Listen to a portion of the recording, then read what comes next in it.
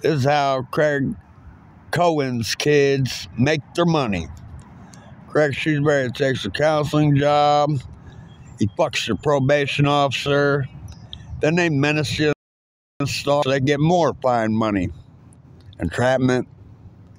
Then he takes his little counseling job, stalks you, robs your paycheck, fucks the bank teller. Then the federal government caters more FBI whores for him while they do victim visits, stalk you, menace you, rob you, and even try to fucking kill you.